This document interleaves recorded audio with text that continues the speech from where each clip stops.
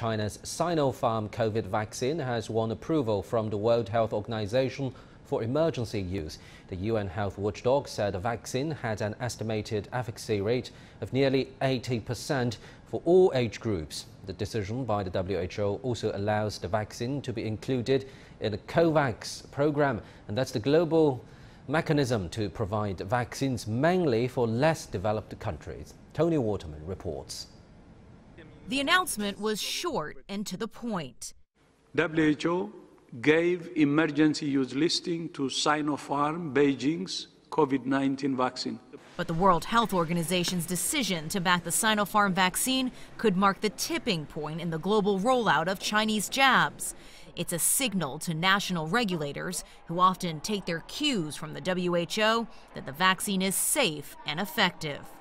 This expands the list of vaccines that COVAX can buy and gives countries confidence to expedite their own regulatory approval and to import and administer a vaccine. The WHO found Sinopharm reduced cases of severe or symptomatic disease by 79% and is recommending its use in adults 18 and older. Approval of the jab also means Sinopharm can join the COVAX facility, the global program to bring vaccines to mainly low income countries.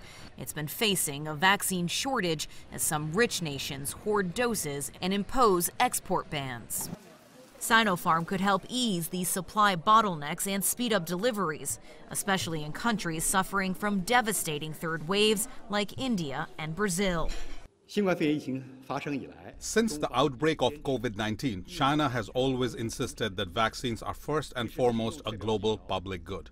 We will continue to support all efforts that will help developing countries obtain timely and equitable access to vaccines. China says it expects to produce more than 3 billion vaccine doses this year. While Sinopharm is the first Chinese vaccine to get approval from the WHO, it may not be the last. Earlier this week, the health regulator began its review of the Sinovac jab. A decision could come as early as next week. Both Sinopharm and Sinovac have been exported to more than 40 countries, but approval from the top could make them even more widespread. Tony Waterman, CGTN, Brussels. For more on that, let's cross live to our reporter Feng Yilei in Beijing. She's been following this very closely. So, Yilei, that's the WHO approval for the Sinopharm vaccine. What's the reaction from Sinopharm? Well, first of all, the approval is a WHO backing that the vaccine has met international standards as some in other parts of the world have been questioning the Chinese COVID vaccine of its performance. It assesses quality, safety, uh, efficacy of COVID-19 vaccines, as well as risk management plans and pro programmatic uh, suitability, uh, such as cold chain requirements. The announcement not only represents vaccine research and development capacity of a company or a country, but also allows other countries, especially developing ones, to expedite their own regulatory approval to import and administer COVID, Chinese COVID-19 vaccines. Uh, head of Sinopharm CNBG said they they have prepared for uh, the country's promise to make Chinese COVID-19 vaccine as a global public good. The approval shows the international community recognizes that research and development in the production and safety of our inactivated COVID-19 vaccines are in line with international standards. Most importantly, after the WHO's approval, our vaccines will be able to contribute more to the global fight against the pandemic as the vaccines enter the global procurement and supply system. And earlier, I also talked to Shao Yiming, a Chinese CDC expert on the National Vaccine R&D Task Force. He said the Chinese vaccine features good accessibility and low side effects, which will benefit developing countries particularly. And the reason that the assessment took such a long time, he said, is because uh, it is a continual process, including answering questions and updating data. I also wonder why, uh, for the China vaccine, why it's so slow, and for other countries uh, are much faster.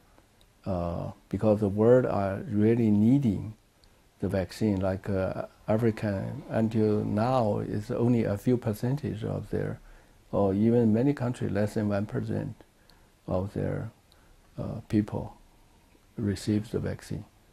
Uh, I do hope uh, after the first one and the other vaccine, not only from China, from all other countries, if they met the standard, uh, international standard, they should all be faster. So basically, it means not just the manufacturer, but uh, uh, the recipients should all, should all be more efficient. And besides, though the WHO said earlier that uh, uh, the uh, efficacy of the jab could not be estimated among people over 60 year old. Uh, it did not recommend an upper age limit for the vaccine, saying that the preliminary data and supportive immunogenicity data suggest that vaccine is likely to have a protective effect uh, among the, the elderly. And given that uh, the US FDA and uh, EMA in Europe have all sped up the regulatory uh, approval process, uh, the expert also added that he hoped uh, the WHO could do the same.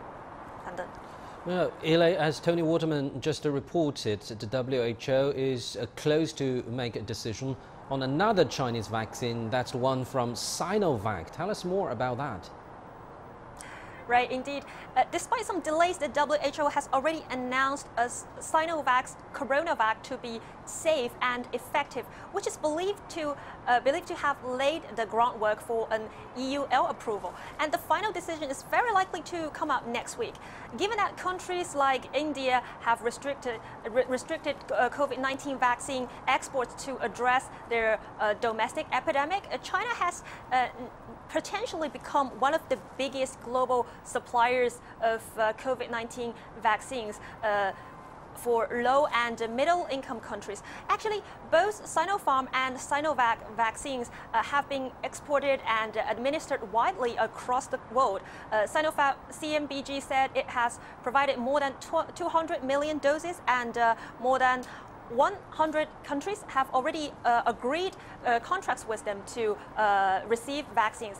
And uh, Sinovac has delivered 300 million vaccine doses. Uh, 200 million doses have already been administered. That accounts for about one sixth of the world's total. And once get the go ahead, they can uh, be used by the international COVAX vaccine effort to fulfill China's 10 million vaccine donation promise.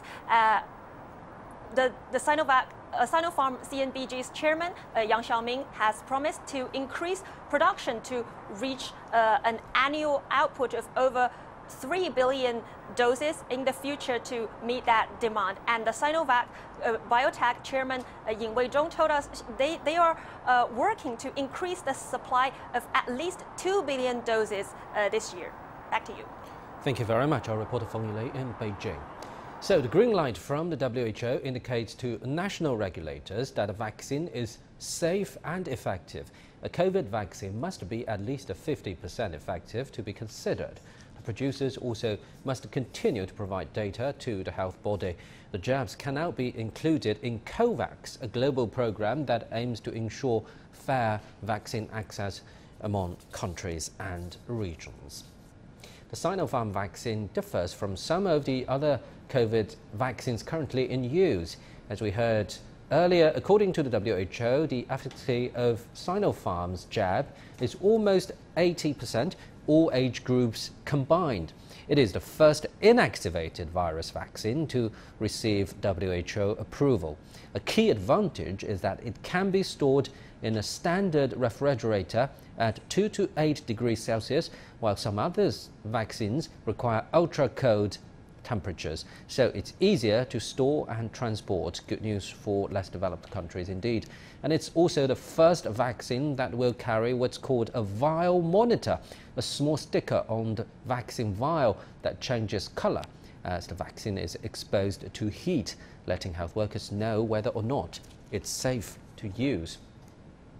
Now, for more insight into the WHO approval, let's cross live to Professor Wu Zhiwei in Nanjing. So, Professor, let's start with the efficacy rate of the Sinopharm jab. Um, let's focus a little bit more on the efficacy among different age groups. Uh, what's your reading into the current uh, reports on clinical trials and public use?